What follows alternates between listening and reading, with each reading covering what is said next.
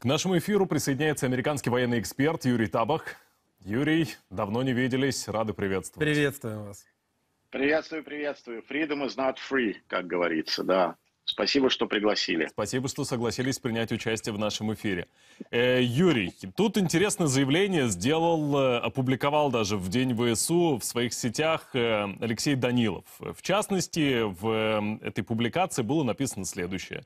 Весной вооруженные силы Украины будут в освобожденном Севастополе, Донецке и Луганске. То есть, по сути, в этой борьбе за окончательную независимость Украины и полную деоккупацию украинских территорий ключевой момент – это предстоящая зима.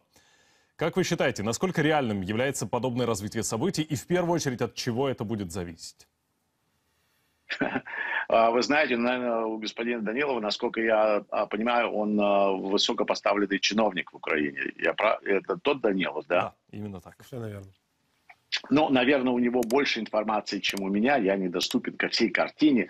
Генерал Залужный, к огромному сожалению, не советуется со мной, не делится со мной своими планами.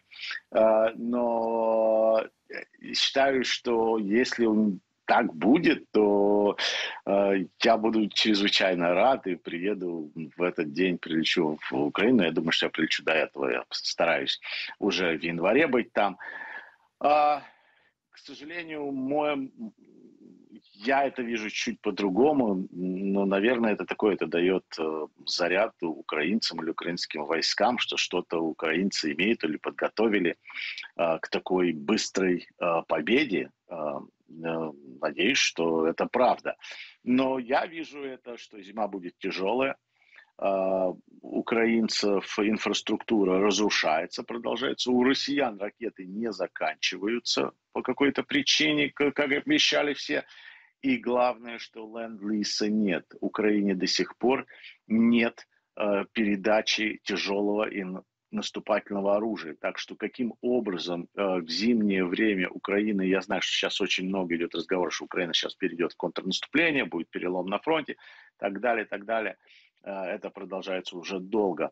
Но с моей точки или с моего уровня знаний э, вооруженных сил и опыта это чрезвычайно сложно – это надо ну, понять, какая цена будет украинских жизней украинских воинов за, за такое контрнаступление масштабное.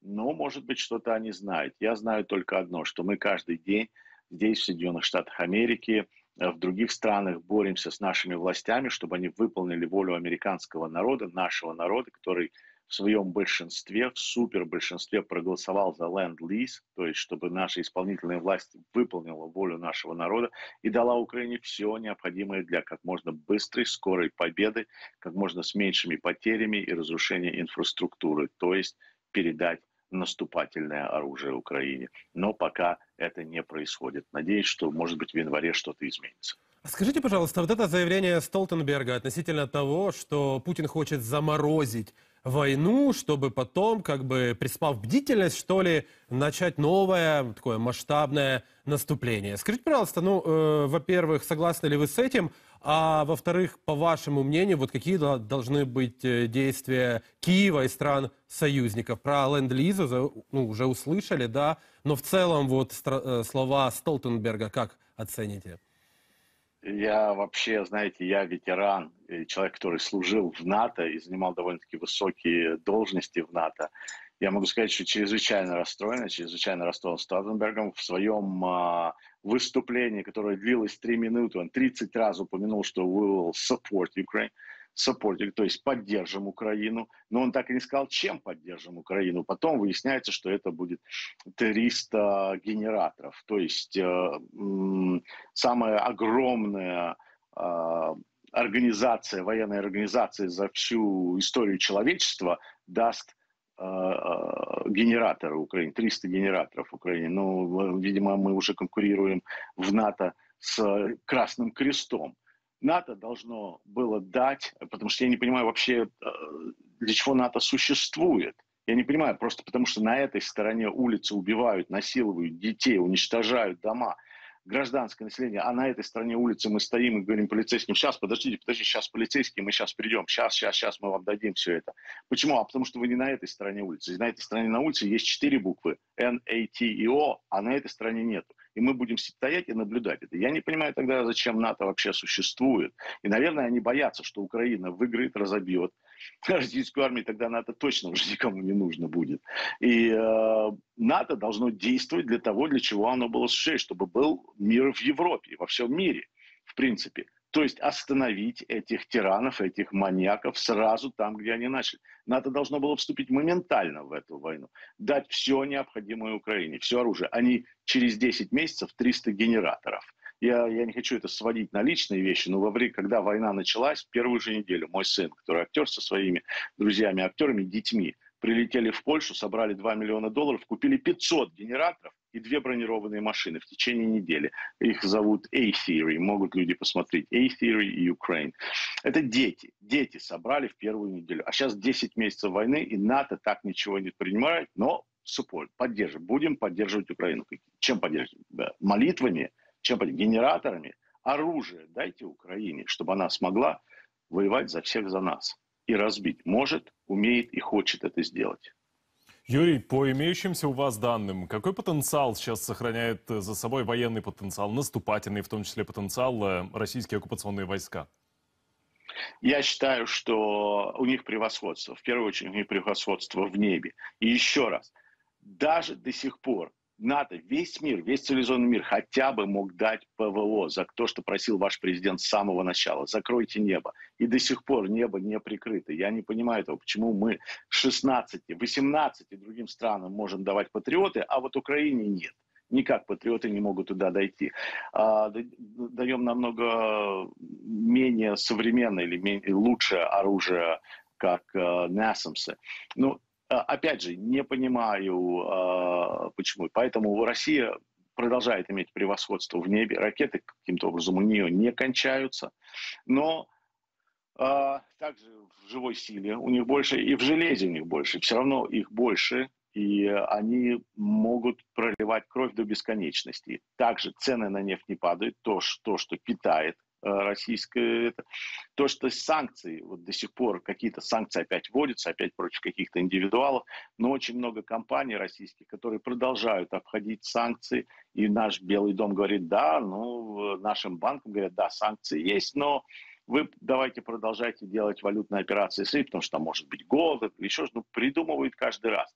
Okay. И это не я, это говорят Наши генералы. Да, прошу прощения, что перебиваю. Есть ведь определенные сдвиги, есть определенные моменты. Вы говорите о ценах Конечно. на нефть. Они все-таки упали до 43 долларов, например, и потолок цен определен в 60 долларов. Это первое. Второе. Средства ПВО поступают в Украину. Мы видим результаты работы противовоздушной обороны и подразделений противовоздушной обороны.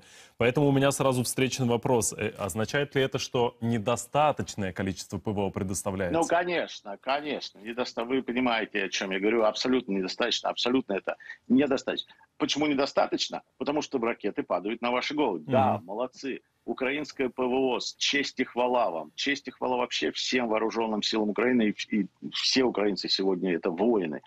Но этого недостаточно, потому что все равно гибнут дети у вас, все равно мерзнут дети у вас в больницах. И как мир, цивилизованный мир может стоять и это наблюдать? И я вот служил в Польше, когда я очень изучал этот вопрос про гетто, и говорить, ну, слава богу, что немцы нам дают там хоть корочку хлеба, мы таким образом не сдохнем все сразу, а да не злите их, не надо, спасибо за это. Э, но так не работает. Э, мы должны уже были заплодить, Запад должен был заплодить ПВО Украину давным-давно чтобы ни одна ракета не пролетела на территории, не упала на ваши гражданские или инфраструктуру, ядерные реакторы, так так. А это все, и это не я говорю, это говорит генерал, любимый генерал Хаджес, в Украине, э, мой ментор, а, генерал Келло, генерал Кеннест, генерал Маттис, генерал Петреус, это все наши великие военачальники, уже я не говорю о ваших великих военачальниках, которых мы все будем изучать в наших военных академиях генерала Залужного э, и, и действия. Они говорят, что если бы мы хотели, эта бы война давным-бы-давно закончилась давным бы давно закончили. Мы не хотим. Значит, мы не хотим, мы не даем. Но это не мы. Американский народ хочет. Американский народ в своем супербольшинстве через Конгресс проголосовал за ленд-лиз. еще в, в мае этого года. Это у нас мы расходимся, Белый дом, администрация Белого дома и Конгресс, то есть народ американский, они не выполняют тут украинцы даже ни при чем. Они не выполняют волю американского народа, волю нашего Конгресса. Дать Украине ленд-лиз. Ну и идет, конечно, целая, целая кампания дезинформации, что ленд-лиз не нужен, за него надо платить, что абсолютная брехня, что он идет, что он придет 1 октября, что еще грузится. И вот эта вот э, дезинформация бесконечная идет, что я никак не могу доказать всем, что это приносит огромный вред Э, на фронтах, когда идет вот у э, Гребенщикова даже песня про это. Вот люди, которые воевали, люди, которые были на фронте, они понимают, о чем я говорю. Что у него даже песня есть такая, что «Жаль, подмога не пришла, подкрепление не прислали. Нас осталось только два, нас с тобою...» Понимаете, когда Обманули, украинцы, да? держат, да, украинцы держат рубежи, их товарищи гибнут, им все время обещают, вот идут, вот идут, вот сейчас июля, август грузится, вот 1 октября, а, вот э, уже 40 миллионов, а его нету. Нету танков, нет самолетов, нет штурмовой авиации, нет даже ПВО. Нету, и эти хаймерсы, оказывается, кастрированные получаются, и их тоже мало. И это, конечно же, деморализует бойцов. И я опять же честь и хвала украинским воинам, что они не падают духом, продолжают драться, как спартанцы. Молодцы. В этом отношении молодцы. Но мы в Америке, мы на Западе должны продолжать наше давление и не смотреть, что нас критикуют или там обвиняют в чем-то. Продолжать драться за Украину, потому что Украина сегодня дерется за всех за нас. Юрий, а скажите, пожалуйста, вот если говорить о э, вооружении как о факторе сдерживания, вот вы говорите, вот нужно оружие. Правильно ли я понимаю, что важный еще момент, чтобы в Кремле понимали, что, не дай бог, будет очередной удар по Киеву, в Украине есть оружие, которое потенциально, подчеркиваю, потенциально может достать, например, до Москвы. Вот скажите, пожалуйста, что это за вооружение, и на самом деле фактор сдерживания в контексте вооружения, он тут очень важен. Вот какое оружие Украине надо, так чтобы в Кремле понимали, лучше ракетный террор уже как минимум прекратить? Все все оружие нужно Украине. Ваш, э, э, ваш генштаб дал список этого оружия и всего остального. И вы уже достаете. Э, мой, моя первая инспекция на ядерные объекты в России была как раз на военную, военную базу авиационную в Энгельсе. И я помню, насколько это было охраняемо, это как, как охраняли Кремль. Это, я, это, это, это стратегический объект, ядерный стратегический объект, где стоят эти Ту-22, или БЕРС мы их называем, а, которые несут ядерные боеголовки в себе. Мы их инспектировали там, и я помню, как, нас, как это база выглядит. Но если украинцы, я не знаю чем, я могу вам придумать, что будет просмотров, лайков до хрена, но я не буду придумать, я не знаю чем, но вы их достали. А если вы достали до Энгельса, то достанете и до Кремля. А, как они туда долетели, как россияне это пропустили, где это ПВО. Причем они еще, этот генерал, который там выступает, он дурак, что ли, я не могу понять. Он придумывает, он говорит, мы их сбили. Они пролетели до Энгельса, над Энгельсом вы их сбили, и они упали на ваши самолеты стратегические, что ли. Это как это вы их сбиваете так? Ну, неважно. Дело все в том, что вы это делаете, вы это можете. Вы потопили их непотопляемый корабль непобедимой армии Великой России. А, это сделали все украинцы. И все те, которые хотят у вас украсть эту доблесть или разделить это, эту победу, это позор им. Это сделали украинцы, это сделали украинские вооруженные силы, спецподразделения, это сделали э, СБУ, там ваши э, охранные органы, это сделал украинский народ. Это, э, это хвала вам. Поэтому, конечно, вы достаете. И э, я думаю, что россиянам пора уже понять, что войну не выиграют, и что военные и те, я их призываю, российских военных, те, которые еще считают себя военными офицерами там, и генералами, что у них погоны не просто так, а они несут с собой ответственность, что вы совершаете военные преступления. Это уже всем ясно. Вы все попадете под, под трибунал. Ваши лидеры, ваши КГБшные лидеры повесят все это на вас, господа офицеры и генералы. Принимать, вы давали присягу России, вы давали присягу своему народу, так выполняйте свою присягу, а не будьте вот этими, на кого потом повесят весь криминал и все, что, и э, все, э, э, всю трагедию, которую вы устроили там.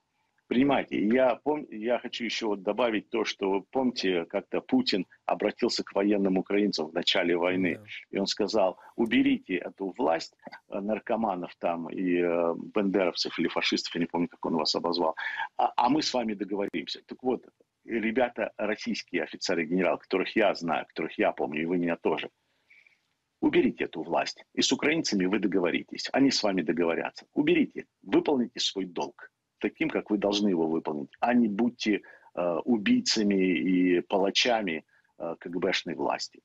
Э, вы до них достаете, вы это показали. Это вы показали с кораблем, это вы показали с генералами, которых вы уничтожили, это вы показали сегодня в, на военной воздушной базе Энгельсе. У вас есть оружие, которым вы можете воевать, которым вы можете их уничтожать, до них достать. Но этого мало. Мало. Может быть, я не объективен, может быть, я, потому что я военный человек, у меня всегда будет мало оружия, но я думаю, в этом случае я объективен. Дают оружие? Мало. Лан-Лиса нет. А это наша воля, американская воля американского народа дать вам все, что необходимо. Ждем большего количества оружия для того, чтобы приблизить победу. Юрий Табах, большое спасибо за комментарий. Спасибо. Спасибо. Спасибо, что пригласили.